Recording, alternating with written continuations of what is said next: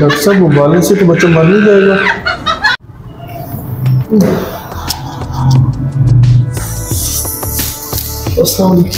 वालेकुम सलाम। क्या हुआ? डॉक्टर साहब को तेजाबियत से हुई है बहुत सख्त पेन है सर में। शायद बीपी भी हाई हो रहा है। अच्छा तो आपके सर में पेन है। एक मिनट आप इधर आए। जी डॉक्टर साहब बहुत ज़्यादा दर्द है। डॉक्टर साहब मेरी इधर दर्द हो रहा है। एक मिनट। डॉक्टर मैं हूँ या आप हो? जी आप। चुप करके बैठे रहो। अब आपके होंगे दो टेस्ट। क्या? दो टेस्ट होंगे आपके। ओ क्या हो गया? क्या हुआ तुम्हें? डॉक्टर साहब टेस्ट होने थे तो मुझे बता के तो देते मैं कम से कम घर से तैयारी तो करके आता टेस्ट की। ओ खुदाया तुम पागल हो। कैसी अजीब बात कर रहे हो? तुम्हारे मेडिकल टेस्ट होने हैं। डॉक्टर साहब ओ मैं समझा मेरा वो स्कूल वाले टेस्ट दोबारा हो गया। तुम अभी तक अभी तक तुम स्कूल में बैठे हुए हो?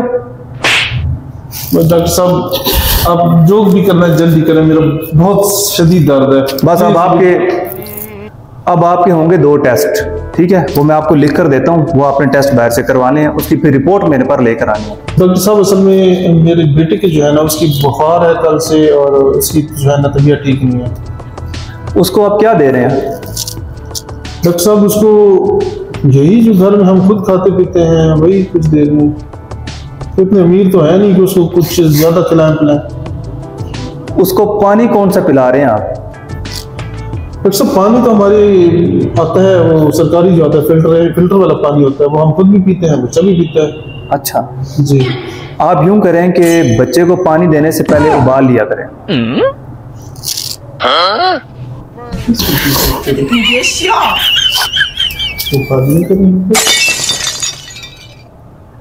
किस सोच में पड़ गए आप? क्या हुआ क्या आपको? डॉक्टर साहब आपने कहा ना कि बच्चे को पानी देने से पहले उबाल लिया करें। तो हाँ पानी को उबालना है ना पहले। आप पहले पानी को उबाल लिया करें जब बच्चे को पानी देने लगते हैं। लेकिन डॉक्टर साहब उबालने से तो बच्चा मर नहीं जाएगा। ओ खुदाया किस पेशेंट के मत्थे लग गया हूँ आज मैं सुबह सुबह? बच्चे को नहीं उबालना पानी को उबालना है। डॉक्टर साहब यकीन करें ये शायद मेरे सर में दर्द है ना इस वजह से। ठीक है मैं समझ गया अब मैं समझ ठीक है अब अब जाएँ आप।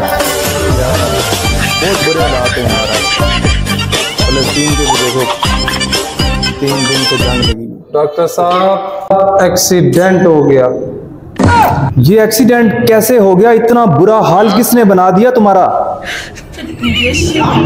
डॉक्टर साहब गाड़ी चढ़ा दिया औरत ने गाड़ी।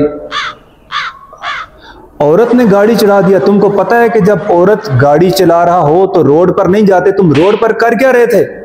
और डॉक्टर साहब, हम रोड पे नहीं, हम पार्क में लेटा हुआ था, ऊपर आके चढ़ा दिया उसने। पार्क में लेटा हुआ था?